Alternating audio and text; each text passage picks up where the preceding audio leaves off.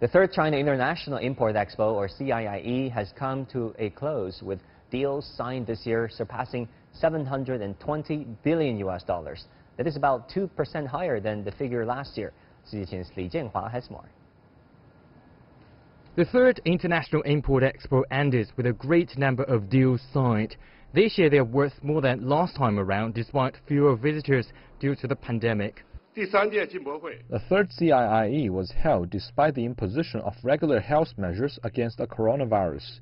This year's event, held both online and in the pavilions, is the largest international economic and commercial event, gathering the highest numbers of countries' participants. This demonstrates China's achievements in containing the pandemic and its socio-economic development. The section featuring medical equipment and products has drawn a lot of attention. China Sinopharm inked a deal with American medical devices and healthcare company Abbott, bringing new devices to China which help to check glucose levels for diabetes patients without blood sampling. So we're proud to present this technology to Chinese market and more importantly, we're taking advantage of CIIE platform to accelerate the introduction of our portfolio um, you know, more products in the portfolio so that we can help more Chinese patients. Each time at the CIIE, Sinopharm managed to sign deals. For each session, we were able to find advanced methods and ways of treating various diseases, which we would introduce immediately through Sinopharm's strong networks and production capacity. The aim is to import the most advanced medical products and benefit the public. Japanese companies have had the largest number of participants.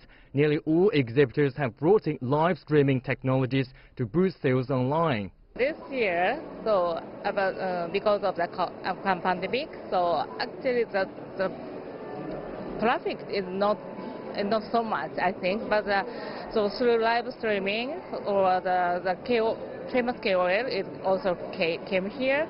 So through the live streaming, we can express, we can deliver our uh, our power to the China. Shiseido is among the hundreds of companies that just signed up to partake in the next year's CIIE. What's different about this year's Import Expo is the impact of the coronavirus pandemic. The number of visitors to the pavilions has been reduced and strict health measures were imposed. Despite headwinds from the coronavirus, the deals inked this year amount to over 2% higher than the previous sessions. Li Jianhua, CGTN, Shanghai.